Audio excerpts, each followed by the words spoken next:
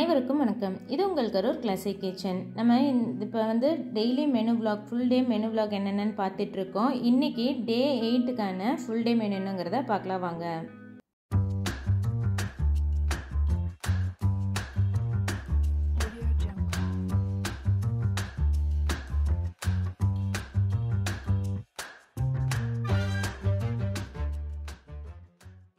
காலையில் பிரேக்ஃபாஸ்ட்டுக்கு ஆப்பம் தேங்காய் பால் இல்லைன்னா வெஜிடபிள் ஸ்டியூ கூட கொடுக்கலாம்.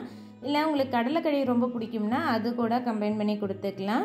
எது எடுக்கிறீங்களோ அதுக்கு தகுந்த மாதிரி நீங்கள் ஆல்ட்ரு பண்ணிக்கலாம். மிட் மார்னிங்க்கு ஒரு ஃப்ரூட்டும் ஒரு ஜூஸும் கொடுக்கலாம். நான் இன்றைக்கி கிவியும் பனானா மில்க் ஷேக்கும் எடுத்திருக்கேன். உங்களுக்கு கிவி பிடிக்காதுன்னு நினச்சிங்கன்னா வேறு ஃப்ரூ ஃப்ரூட் கூட உங்கள் குழந்தைங்களுக்கு மாற்றி கொடுக்கலாம். இப்படி கொடுக்கும்போது நிறையா எதிர்ப்பு சக்தி கிடைக்கும். கிவியில் நிறைய எதிர்ப்பு சக்தி இருக்குங்க.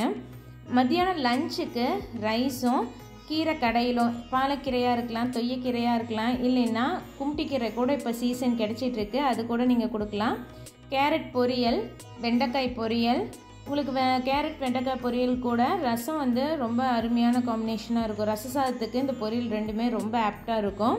கூடவே தயிர் தயிர் வேண்டாம்னு நினைக்கிறவங்க மோரா கூட சிலிப்பி எடுத்து சாப்பிட்டுக்கலாங்க. இந்த லஞ்ச் மெனு வந்து உங்களுக்கு ரைஸ் வேண்டாம்னு நினைக்கிறவங்க அதுக்கு சப்ஸ்டியூட்டாக மில்லட் ரைஸ் கூட எடுத்துக்கலாம். எல்லா நாலு வகை மில்லட்டும் ரைஸாக எடுக்கும்போது எல்லா குழம்பு ரசத்துக்கும் நல்லாவே போ ஒத்து போகும். ஈவினிங் ஸ்நாக்குக்கு இன்றைக்கி நிலக்கடலை பருப்பு சுண்டல். இந்த வீடியோலாம் வந்து உங்களுக்கு நான் டிஸ்கிரிப்ஷனில் லிங்க் கொடுக்குறேன். செக் பண்ணி பார்த்துக்கோங்க. டின்னருக்கு சப்பாத்தி கூட பன்னீர் பட்டர் மசாலா. பன்னீர் பட்டர் மசாலா கூட நீங்கள் கேப்சிகம் எடுக்கும்போது அடிஷ்னலாக இன்னொரு வெஜிடபிளும் ஆட் ஆகும்.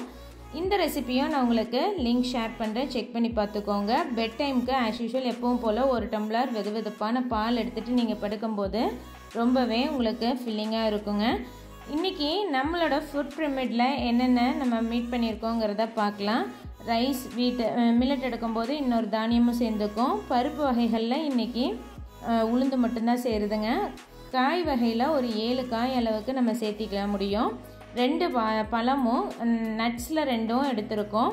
இன்றைக்கி டைரி ப்ராடக்டில் பன்னீர் எடுத்திருக்கோம். நாளைக்கு டே நைன்க்கான மெனு உங்களுக்கு என்னங்கிறத கொடுக்குறேன். இந்த வீடியோ பிடிச்சிருந்ததுன்னா லைக் பண்ணிவிட்டு மறக்காமல் கமெண்ட் பண்ணுங்கள் இது வரைக்கும் எங்கள் சேனலுக்கு சப்ஸ்கிரைப் பண்ணாமல் பார்த்துட்டு இருந்தால் சப்ஸ்கிரைப் பண்ணிவிட்டு கூடவே பக்கத்தில் இருக்க பெல்லைக்கான் கிளிக் பண்ணி வச்சுக்கோங்க. அப்போ தான் நான் போடுற எல்லா வீடியோவோட நோட்டிஃபிகேஷன்ஸ் உங்களுக்கு ரீச் ஆகும்.